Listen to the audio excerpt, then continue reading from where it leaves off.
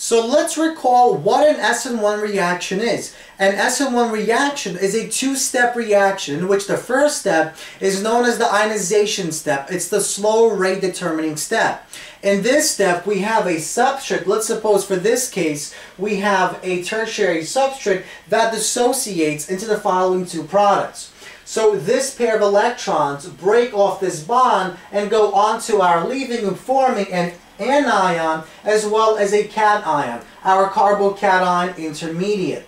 Now, when we spoke about the SN1 reaction, we said that the second step is the product determining step in which our nucleophile uses its pair of electrons to form a bond with this empty 2p orbital, with this carbon. In other words, recall that a nucleophile is a good competitor of, or a good nucleophile is a good competitor of an empty 2p orbital. Now, so once again, in the second step, if the nucleophile is a good nucleophile, as we saw in the SN1 reaction, it will readily undergo the typical SN1 reaction that will produce your typical SN1 product. Now, what we never mentioned is the following. Things aren't really that simple in the real world. And that's because this can also act as a base. In other words, we never compared the nucleophilicity of the nucleophile with its basicity. Is it a better nucleophile than a, than a base, or is it a better base than a nucleophile? Recall that a base is a molecule that competes for the 1s orbital, for an empty 1s orbital, whereas a nucleophile competes for the empty 1p orbital. So they're related, but a base is not a nucleophile. So, let's suppose now, on the other hand, our nucleophile is a poor nucleophile, but our nucleophile is a good base. So it's a better base than it is a nucleophile.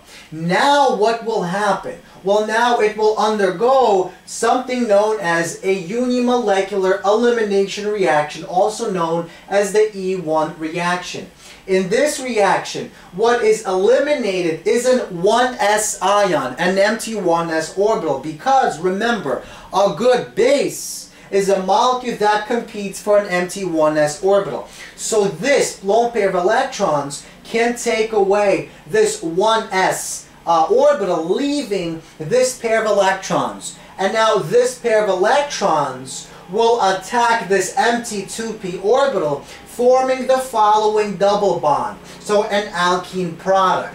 So once again, if the nucleophile is a better nucleophile than it is a base, we have our typical SN1 reaction. But if our basicity is higher than its nucleophilicity, that means it's a better base. So it will take the empty 1s orbital, forming our alkene product. So, now let's examine the stability of the alkene. So notice in this case, we had a symmetrical carbocation. We had a central carbon attached to three identical CH3 groups. And each of these H atoms are identical in the sense that it doesn't matter which H atom this base takes off, we will produce the same exact product.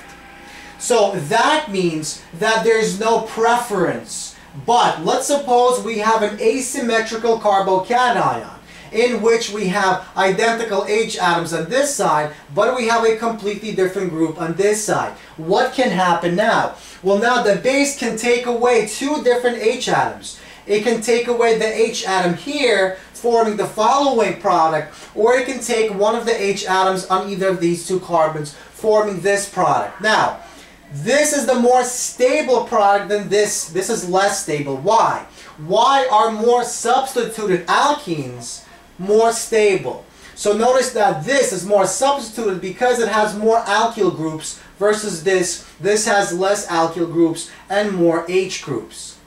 So in order to answer this question, we have to remember what sp hybridization is. Remember, the more s character we have in our bond, the more stable that bond. The less s character, the more p character we have, the less stable our bond is. So more s, more stable, less s, more p, less stable. So let's examine all the bonds in this more stable product. So here we have one, two, three, four sp3 hybridized carbons and one, two sp2 hybridized carbons. So we're going to have one, two, three, four sp3, sp2 hybridized bonds and one sp2, sp2 hybridized bonds. If we examine this less stable product, we have one, two, three sp3 hybridized. Well, actually we have one, two, three, four sp3 hybridized and one, two sp2 hybridized. And now we have we still have our one sp2 sp2 hybridized bond as we have here but now we have one two only two sp3 sp2 hybridized bonds and now we have two sp3 sp3 hybridized bonds. So one, two sp3, sp3 hybridized bonds and only one, two sp3, sp2. So notice we have this less stable sp3, sp3 uh, interaction that we don't have here. So we have less S character here than in the more substituted structure. And so, because we have more S character here, when electrons are found in the S character, they're more stable. So that's why this is more stable. But there's also a very subtle point that we need to discuss. And it is the following. There is a statistical preference to form the less substituted alkene. So let's see exactly what that means. Let's look at the following molecules. So this is our carbocation that has a positive charge here and let's use orange because we use red here. So here's our positive carbon. So notice that there are six green H atoms that can lead to the less substituted alkene and only one red H atom that can lead to the more substituted alkene. In other words, if our base takes away this H atom, we will form our more stable, more substituted alkene. And if we take one of these six H atoms away, we will form the less stable, less substituted alkene. So, there is a 6 to 1 ratio preference, probability preference, that the less stable product will form. So once again, what that basically means is that our base is six times more likely to take away a green H atom than a red H atom simply because there are more green atoms than our red atoms. But even with this preference, if we have enough energy, the more stable product forms because of this S character stability. This is so much more stable than this that this is more preferred than this even even though we have a 6 to 1 probability preference ratio for the less stable product. So what can we conclude? Once the carbocation is formed, SN1 and E1 reactions will compete they will compete with one another. A good nucleophile will lead to the SN1 product. The SN1 reaction will take place, while a good base and a poor nucleophile will lead to the alkene product. We will undergo an elimination reaction.